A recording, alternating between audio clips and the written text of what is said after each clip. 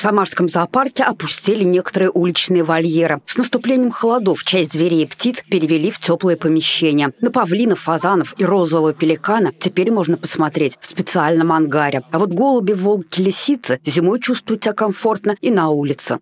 В основном это те виды, которые обитают в таких условиях, какие у нас в Самарской области, или сходных с этими условиями.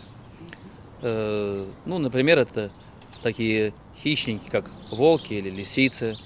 Это такие птицы, как хищные птицы, э, некоторые курообразные, те же голуби, большинство копытных, например, это козы или ослы, это верблюд – Остались зимовать на улице тигр и лев. У царя животных в домике стоит обогреватель. Когда наступают сильные морозы, он находится там и выбирается только для того, чтобы поесть. Часто спрашивают про льва. Как же льву все-таки это африканский хищник или индийский? Э, когда-то ареал льва был достаточно обширен. Можно представить себе участок между Африкой и Индией.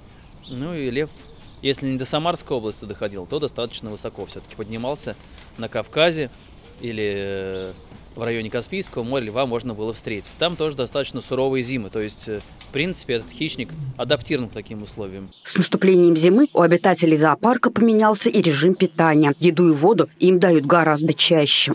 Те животные, которые остаются на улице, у них рацион увеличивается. Им, соответственно, дают больше мяса, больше, так скажем, живых кормов, те же кролики увеличиваются по кормежке это основное. Ну и вода, естественно, пока снег не выпадет, вода часто меняется, потому что промерзает. Полюбоваться обитателями зоопарка можно и зимой. Правда, из-за того, что в Самаре пока нет снега, а морозы уже ударили, еноты-полоскуны вход в домики забили соломы и спрятались, выходят лишь на время. А вот сурки еще в конце сентября отправились в долгую спячку. И будить их не планируют, даже на День сурка, который отметят в мире 2 февраля. Светлана Тимофеева, Максим Гусев. События.